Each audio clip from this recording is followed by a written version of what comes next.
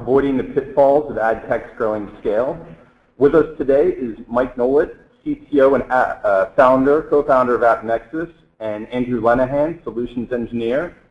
Um, at the conclusion of the presentation, we are going to have time for questions and answers, so you can enter questions into the webinar tool. You can enter this anytime during the presentation or during the Q&A session. Uh, with that, I'm going to pass it over to Mike to begin. Good afternoon, everybody, or good morning if you're on the West Coast. So this is Mike here. I'm really excited to talk to you today about some of the pitfalls of ad technology and building ad technology that I've seen over the last eight and a half years um, building ad tech and working with companies in the space. There's feedback here. Done. Okay. Sorry about that. Um, so uh, first of all, I, I think you know before we start, I think we all know this, but I think it's worth calling out that programmatic buying is a reality. It's it's the reason we're on the phone here today, and there's there's just this continued growing trend. Um, but I think the most interesting thing to call out here, we've all seen this graph, is actually um, the growth in RTB indirect and premium sales, and the percentage that that's expected to make up of the global or the U.S. advertising market. Obviously, this trend is happening globally in Europe and Asia as well. And the impact of this is very significant. Most specifically is that RTB in itself, or programmatic buying and selling, is a disruptive technology trend. And it's requiring everyone to adopt and uh, implement new technologies that can do RTB, that can do programmatic reserve, that can bid on inventory, that can enable real-time bid streams, that can work with behavioral data, which we're now opening up as an opportunity. And what we're seeing is globally around the world, everyone is looking for the new technology, right? And every day I talk to companies and partners who say, hey, I want to do programmatic buying. I want to do programmatic selling. What technology should I use? What technology should I buy? What should I license? And today, that's the general topic we're going to talk about. And specifically, there's three pitfalls that I've seen over the past couple of years. One, a lot of companies underestimate scale. Two, people um, don't are, are unrealistic about their own success and then thus aren't intellectually honest about what they're actually doing. And the third is actually not thinking about true value, right, or the opportunity cost of what you're not doing because of the decisions you're making. So let's just dive right in. So the first one, and, and if you've heard me speak, you, have definitely heard me talk about scale before. It's a message AppNexus talks about a lot. Um, and it's a message that's actually really just fundamentally prevalent in the online advertising space. It's become really commonplace for companies to cite QPS statistics, how many ads per second, how many terabytes or petabytes of data. Um, and the reason this keeps coming back is because the ability to scale is a competitive advantage for any advertising technology company. Through and through, what we've always seen is a trend where ad tech companies launch, they start building, they hit scale, and then they stop innovating, right? And so the ability for companies to scale and innovate is huge, and inevitably every single CTO, unless they've been through the pain before, ends up underestimating that cost. Now, if you look at this slide here, uh, I presented this actually uh, about two years ago at one of our first uh, AppNexus summits. Talk a little bit about why innovation is hard. Um, and this is half of the equation, right? Scaling, so there's three sides that make innovation difficult. First is an increasing rise in volume of impressions, right? And the, the higher the volume you're trying to deal, the more time it takes to engineer solutions against that. So if you're doing something once a day, it's very easy to build technology that does that. If you're doing it a million times a day, it becomes harder. And now, of course, we do things 42 billion times a day. You can imagine that gets very difficult. The second thing is that doing things with more people is harder than with fewer. If I'm doing something alone, I don't have to communicate with anybody. I can just do what I want, right? And if I change my mind, I can just do whatever I change my mind towards. If I have a team of five, I have to get the entire team on the new page. And if you have a team of 50 or 100, that becomes harder and harder. So as teams grow, it becomes harder and harder to develop as well, and people underestimate the people scale required and the complexities around that. Um, and at AppNexus, we spend a lot of time thinking about organizational design and getting the right people leaders in place just to be able to innovate. And the last thing is the more customers you have, the more features you need, right? The more features you have, And the more time you need to spend making sure that the new changes you're implementing don't go back and break previous functionality you've built. If I'm building a brand new product with no customers, I don't worry about things breaking. If I've got 150 customers and I've got over a billion dollars worth of media flowing something, I really need to think about the cost of change, right? And as that cost increases, so does the amount of time it takes to actually implement that change. And the sum of those three really results into this exponential curve where uh, that cost of scaling a, a, full technology stack, right, that is, has adoption, that works at scale, that has a full-size team, becomes incredibly difficult. And because at the beginning of that curve, it's actually quite easy, people inevitably underestimate. But this is actually only half the problem, right? So this is a problem that many people say, well, I know this, I've heard this, you've talked about this before. But, uh, you know, this is nothing new. The other piece that I've uh, noticed recently as I talk to companies and as we talk about what their scaling points are and where they're struggling is actually because the entire ecosystem actually got more complicated. And the old world was, you know, you had a seller who had DFP or ad tech, a publisher ad server, and you had a buyer, and the buyer had his own ad server. It could be an ad network with a proprietary ad server, or it could be an agency using DFA or Atlas or MediaMind. Um, but that world has changed dramatically we now have sellers who are actually directly integrated with buyers, and there's technology services like dynamic creative that overlay and data providers. And so now when you build ad tech, you no longer just have to worry about building your technology. You can't, it's no longer just you build a publisher ad server. You're now building a piece of technology that has to integrate with many different companies. For example, we have over 150 different bidders through which we've done technical integration, and each of them requires time it requires testing time, and we're working across company boundaries, right? So this is where it's often uh, often companies go and say, hey, your API is broken, can you fix it? And it requires kind of collaboration across companies to figure out where issues are and how to resolve them. And so this complexity of the ad tech ecosystem makes that scale problem even harder. So not only are we talking about more volume, we're talking about needing a full-size team and actually building something with real customers with real money on the line. We're also talking about having to integrate that entire stack across many different companies. So this is one of the, the key pitfall here is that people underestimate this and that they don't staff appropriately against all of these challenges. If you're building a real-time sell-side system, you need to staff up a bidder support team and you need multiple full-time people working on how to actually support those bidders and realize that it'll take months to actually get the integrations live. Similarly, if you're doing a, a, bidder system, you have to integrate with all the different exchanges. You have to debug those. You have to keep up with other people's standards changing because you're no longer fully uh, in control on your own. So one of the key strategies to counteract this pitfall is to understand, manage, and predict, and manage, and, and, and, for, and basically put strategies in place against um, this pitfall and make sure that you minimize complexity when you don't need it, right? Make sure that you minimize features when you don't need it and find ways to address and we'll talk about this more as we go into the next two pitfalls. The second big pitfall um, might seem counterintuitive, right? So how, how can you misperceive your own success? Um, and we, we, we, talked about this a little bit our last summit. Brian O'Kelly actually showed this graph. Um, it's very similar. This is a, a sample business, right? And, and many of you on the phone may have a business that has this level of growth where you're talking about doing 100 million or 150 or maybe it's 100,000, 150, but this level of growth where you're seeing that 50% or growing by 50,000 uh, every single year, uh, or million, sorry.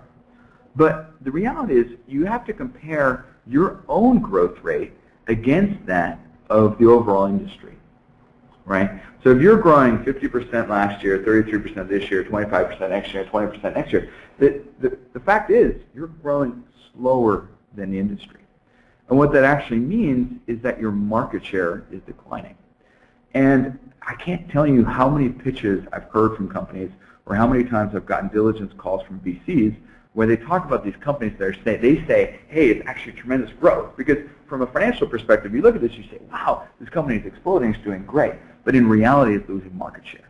And losing market share is dangerous because that means you're losing influence, which means you need to take a hard look at what you're doing because it means your competitors are actually doing something better than you are. Right? So what happens is companies, because they keep growing, they, they, they stop being intellectually honest with themselves and saying, hey, is what I'm doing truly differentiated? Right? Am I winning? Right? Or am I really being competitive in the market? And so I urge you not only to plan for scale and think about scale, but also to be really honest about your own growth rate. Now, this is kind of a hypothetical graph, right? But you know, these are some of these industry growth rates is what we've seen with RTB, right? So um, really, and there's various benchmarks you find out there. You'll have to do the one that's right for your market. You know, if you're in Europe, you want to look at European markets. Some of them are growing faster than others today. Um, but be careful and be honest about your own company's performance and make sure that you are truly being differentiated and competitive in the market. Uh, because it's easy to forget that other people might be growing faster. And of course, as the industry growth slows down, what's going to start happening is that decrease in market share is going to start showing itself in your P&L as a decrease in revenue. So as long as the pie keeps growing for everyone, it might seem great for everyone. But once that pie stops growing so much, you want to make sure that you can protect your slice of that pie and potentially keep growing it. And that depends on, obviously, the technology decisions you make and, of course, the strategic decisions as well. But it's really the third pitfall that I want to talk about the most. And the first two are really more to, to lead up into this. And that's thinking about opportunity cost. Right? And I think every company needs to think about um, not only the cost of doing things, that's course pitfall number one, the scale. Be intellectually honest about what they're doing and how differentiated that is, but also think about what they could be doing. And, and the reason I say this is because I just see countless, countless companies out there that are going out there and rebuilding what, in all honesty, is commodity.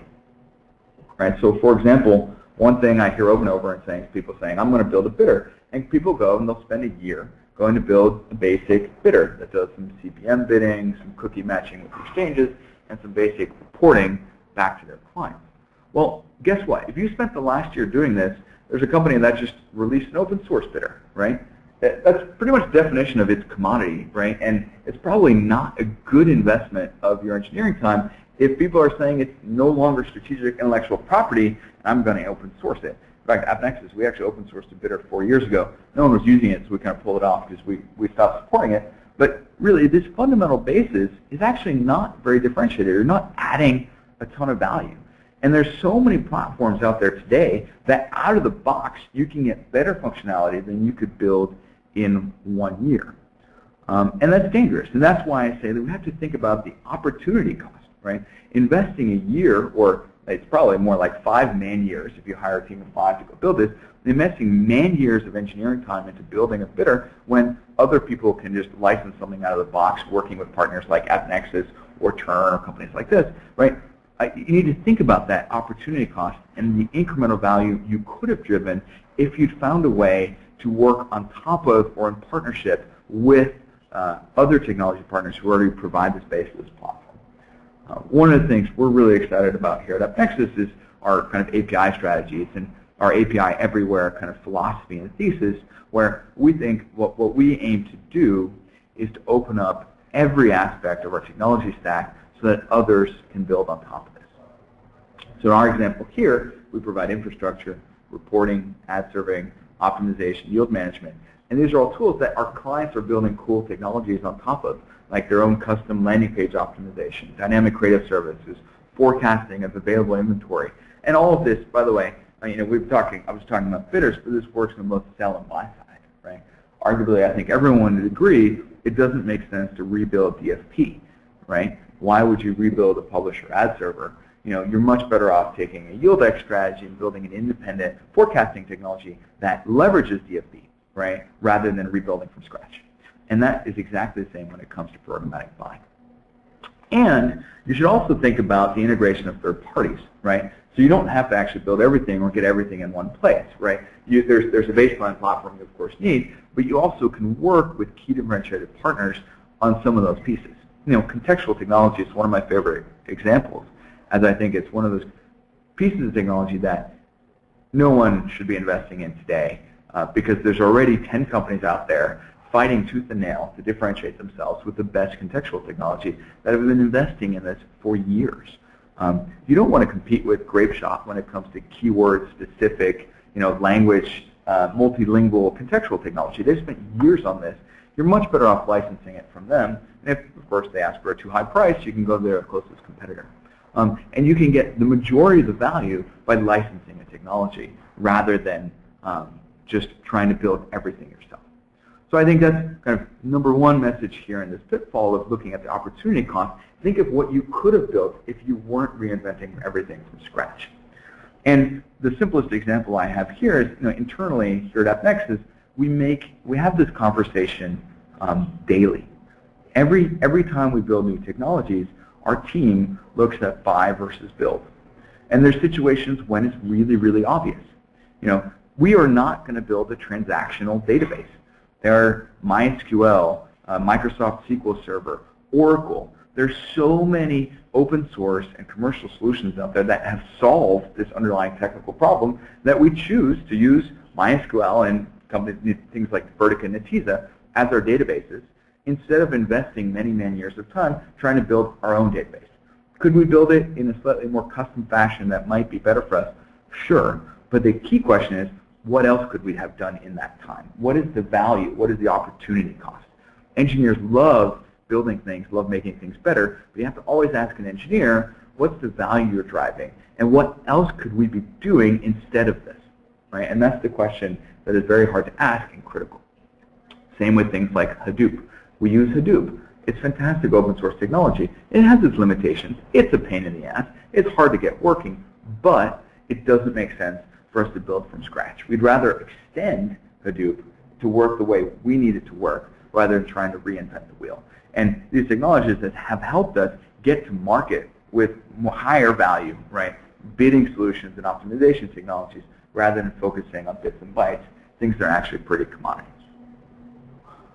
Now, the number one objection I get to this, so I believe I'm being my own critic, um, the number one objection I get from people is saying, look, I need to own the optimization. Optimization is my secret sauce, right? And I bet some of you on the phone, this resonates. Optimization is my secret sauce. I need to go to market, and I need to have my position in the market be clear that I have data scientists and algorithms, and that I can do real-time bidding better than. Now, one aspect of this is the marketing aspect. I'll, I'll talk to that in a little bit. Um, and because marketing to me is a problem that can always be solved by better marketing. Um, in that I think people are talking a little bit too much about the bid and not necessarily as much about the real value. And sometimes we forget why we're here, right? But we're here to show relevant advertising to, to users who are interested in those advertisements so that they respond to them and buy things, right? Or that they have higher brand association. That's why we're actually fundamentally here. We're not here to bid, right? That's our fundamental goal.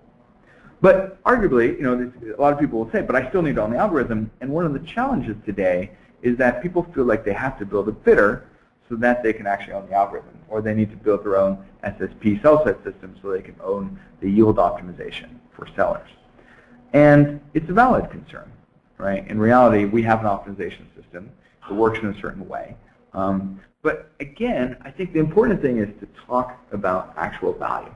And the model I'd use for this is one of diminishing returns. Um, and the idea is here, the more you invest in something, the lower the return is. Right? So building, uh, well, we'll talk about bidders in a minute, but if I build a, a simple model, it's going to get me actually a pretty high return over someone doing it manually. Adding some data science will have you a pretty significant return. And then continually tweaking and tuning that, the more you invest, the less your return on investment is going to be. And, and I'd love to pass it here to Andy. Andy actually did some research on this here at AppNexus. Um, and he has a great uh, case study actually looking at Netflix, um, who has invested a ton of time and a ton of money in optimization. Uh, so, so Andy, why don't, you talk to us a bit about Netflix and the Netflix Prize? Sure. So thank you, Mike, and it's a pleasure to be speaking with everyone today. Um, so yeah, on the topic of algorithms, um, we dug up this, this pretty smart case study on the Netflix Prize. And for those of you that are, that are unfamiliar with the Netflix Prize, in 2006, uh, Netflix announced a competition uh, called the Netflix Prize, which aimed to improve their movie recommendation system by opening it up to development by the public. That competition was judged on the accuracy of the new system's movie rating prediction. So that would be against the user's actual rating. The measurement that they used to judge that accuracy was called uh, root mean squared error, or RMSE. Any team that improved on Netflix's RMSE by 10% would be awarded $1 million.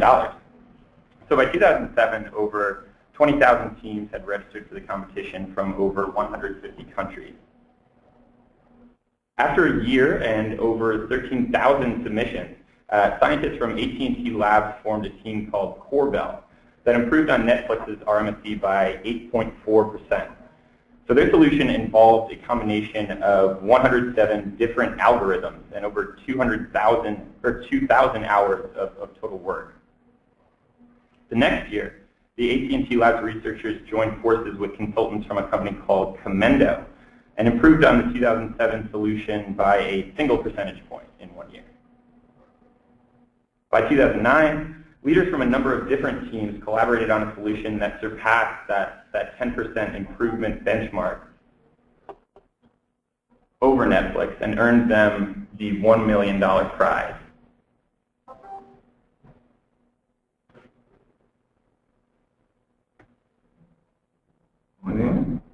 Hold on one second, please. So, as you can see from this graph here, the teams hit a point of diminishing returns where after the same uh, investment of time, they started to achieve lower and lower returns from that investment. And after it was all said and done, Netflix did not even utilize that, that new solution. As they said, the accuracy gains didn't justify the, the engineering effort that it would take to implement those winning algorithms.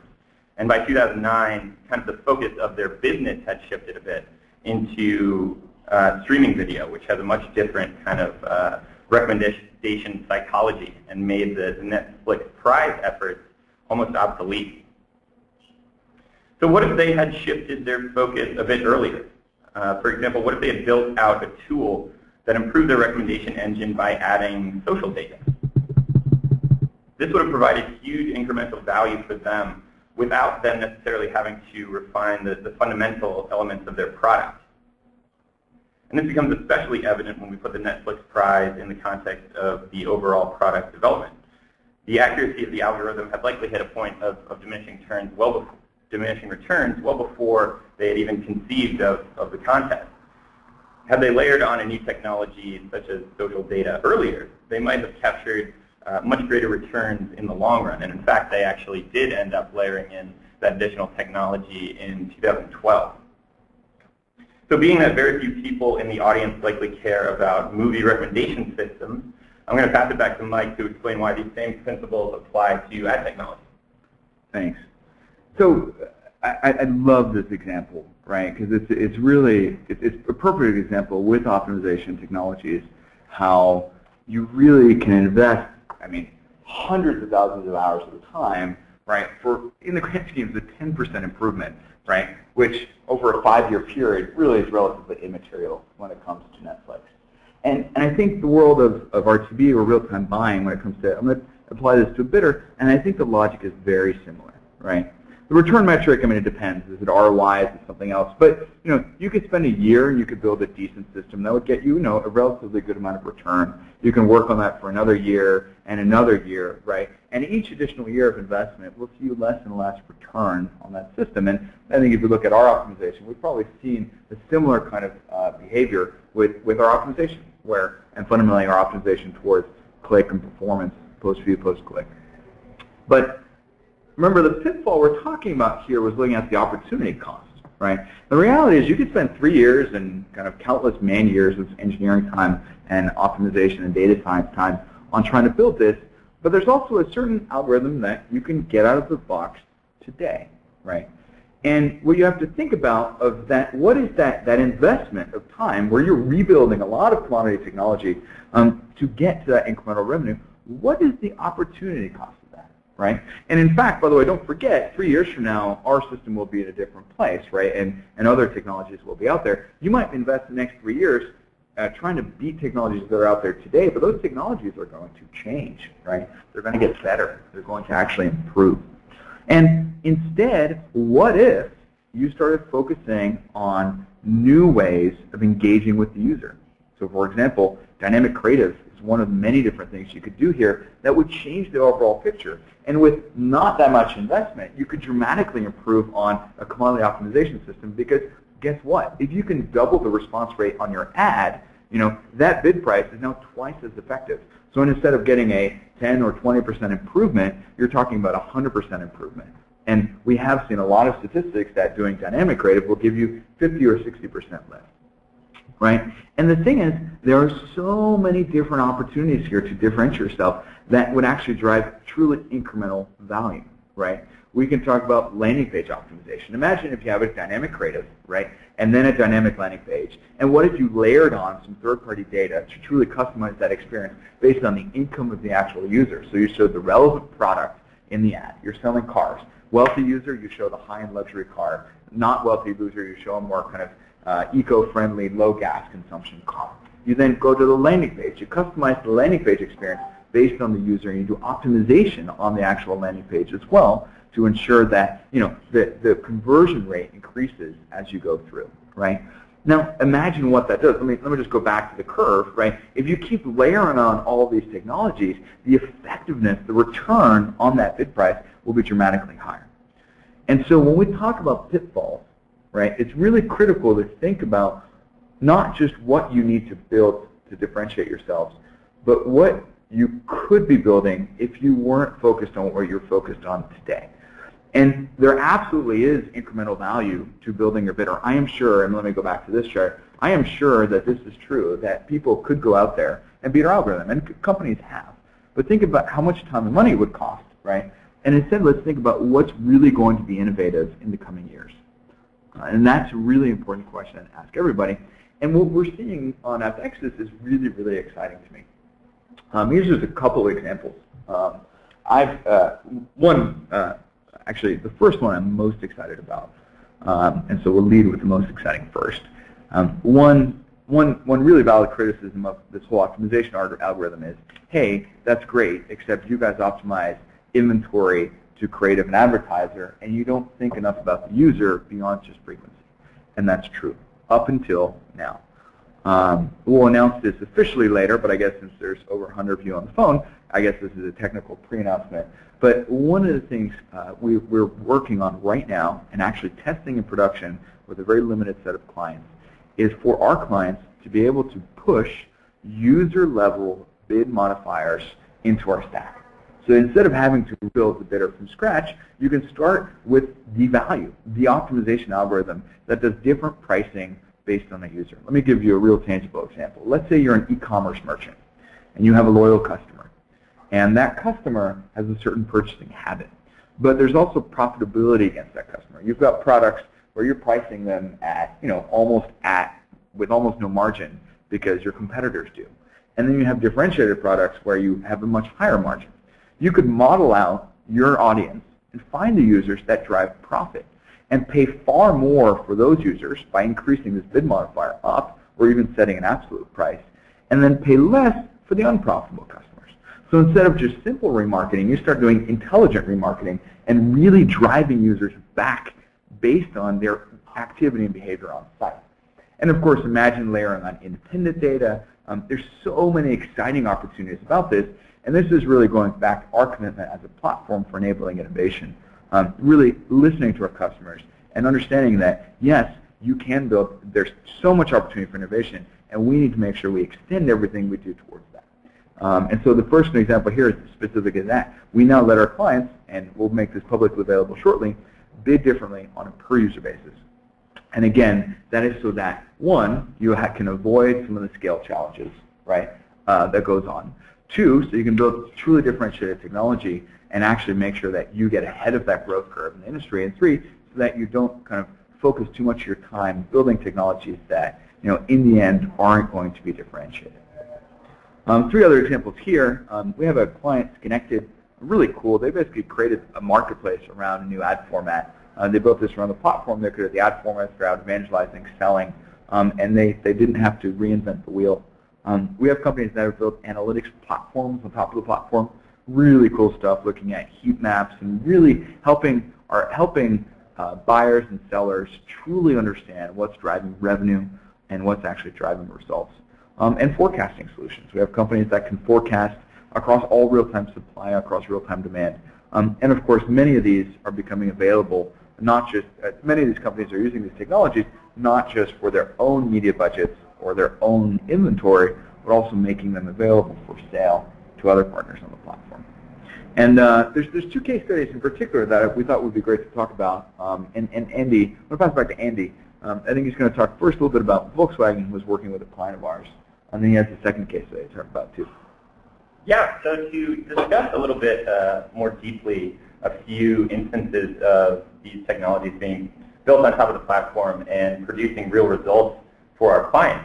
Um, first off, we have, as Mike mentioned, the, the Volkswagen example, where uh, Volkswagen worked with a company called Blue Mango, which is uh, a Dutch online marketing company that was um, approached with an interesting opportunity to improve performance on Volkswagen retargeting campaigns. In particular, they wanted to increase test drives at local dealerships. So rather than rebuilding a bidding engine from scratch, Flex One, which is kind of the technology arm of, of Blue Mango, built a suite of technologies on top of AppNexus Console. They developed uh, a pixel management solution called FlexPixel that allowed them to segment users in a much less manual way based on the vehicle models that those users were interested in. They also developed a dynamic ad serving solution called Flex Ads that allowed Volkswagen to customize elements of the creative based on models that users had previously expressed an interest in. So these different technologies actually yielded uh, very significant uh, improvements in performance. So over a 60% increase in campaign performance over the, the static ad units that they had used previously in their remarketing campaigns. Additionally, they saw a decrease in cost. So the inclusion of this um, tag management system that kind of automated the segmentation of all the users across uh, Volkswagen properties allowed them to decrease their operational costs by about 20%. And then the, the second case study that we've included here is uh, with ING, Mindshare, and BannerConnect. Um, so ING and Mindshare uh, worked with BannerConnect to develop a targeting solution that would incorporate relevant environmental data. So they built a, a data provider called Converge, which when integrated with the AppNexus bidder has the ability to target users in real time based on local weather conditions, for example. So they'd be seeing different creatives based on elements of their local environment uh, that would resonate a bit more with that, with that individual user. So from the conception of this idea to the launch of the product, this application took about two weeks to build um, and contributed to a 28% increase in performance over the control group that they had that was not seeing um, environmentally based ads from their, their application.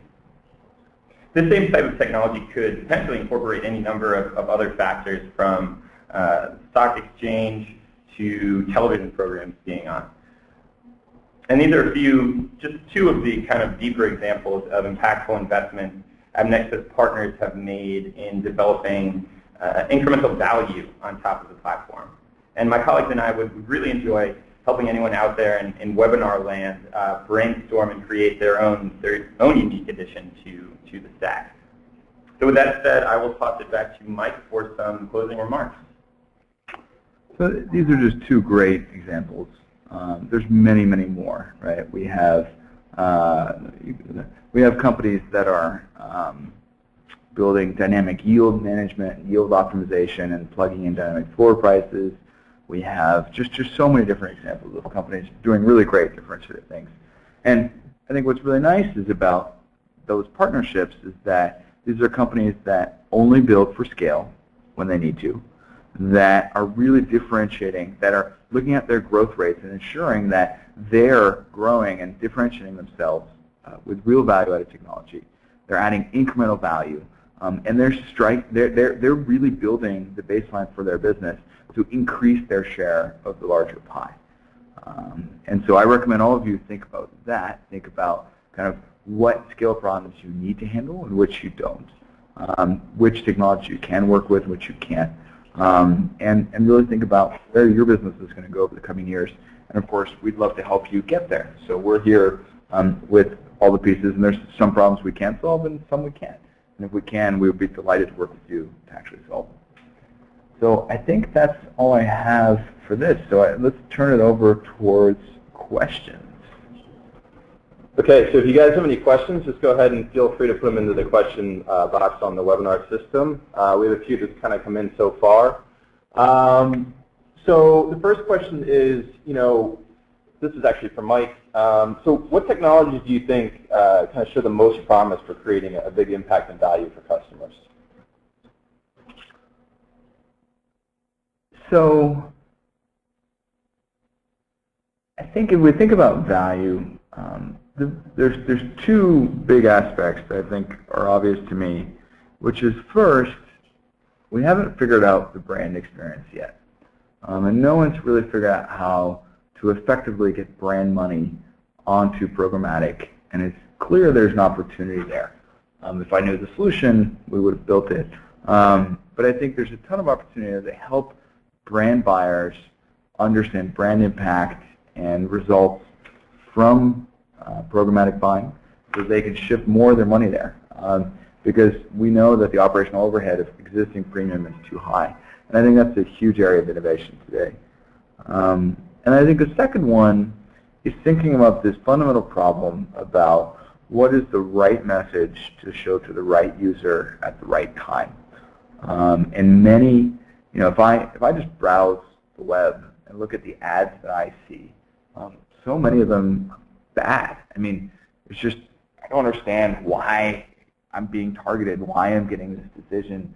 Remarketing is simple, it's creepy, I see the same product. I think there's so much room for improvement for actually showing better advertising to better users. Um, and I think there's a ton of opportunity for innovation there. That ranges from better dynamic creatives, that ranges to figuring out how to actually effectively integrate third-party data it means bringing real valuable third-party data. It's just your site history. It's just boring. I mean, there's some things you can learn from it, but it's much more interesting to know how much money you have as a consumer. What can you afford? What are you actually interested in buying? What are you in market for? So I think, to me, the two, those are the two obvious areas that kind of come to mind kind of right off the top of my own.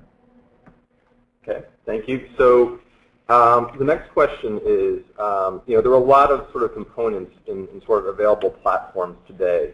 Is the assumption that sort of anything, any one of those components, you know, example given reporting, are, are not really sources for differentiation, or are there still opportunities to, to kind of get value in those areas? Well, it's a good question. I think uh, uh, reporting in itself, there's degrees, right? So on a scale of 1 to 10, you know, you can build a very simple system that just shows you how many impressions you bought yesterday or how many impressions you sold yesterday in revenue. And building that reporting system is not differentiated in any shape or form. Um, and then there's the 10, where you can answer any possible question and predict which questions you want to ask, right? And provide that as kind of live streaming real-time analytics in the face of the customer, right? I haven't seen a 10. I don't think it exists yet.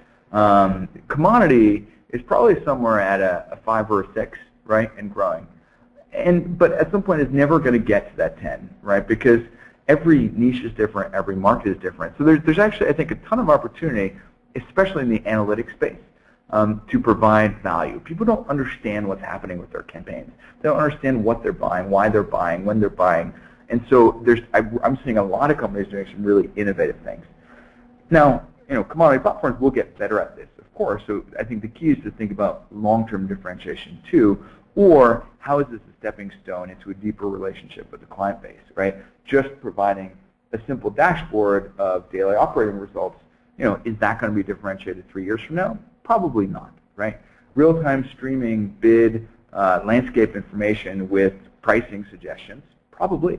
Um, so I definitely think there's a lot of opportunity there. Um, but just be careful to, to, again, be intellectually honest with yourselves about kind of is it differentiated and how fast is that revenue stream growing? Because fundamentally, revenue is probably what will show you the most. If your technology is taking off like hotcakes, you know you've stumbled onto something that people want and need. If you're selling it and you're growing, but not that fast, maybe you need to revisit it. And sir, we have time for one last question, um, and this is sort of related to that point. Um, you know, when you are sort of selecting that new technology, um, is there any type of rule of thumb for sort of identifying maybe where on that sort of point of diminishing return curve uh, that technology is currently at? I think the only thing that tells, well, I think I go back to understanding value, right? Um, one, one misperception that I think a lot of companies have is they, they they think about um, uh, exit strategy before they think about value. Right? So some companies are building technology for the sake of building technology because they've raised VC money. And so I'd say just flip it upside down and say, think about what value you're trying to drive. Do an evaluation of the technologies that are out there.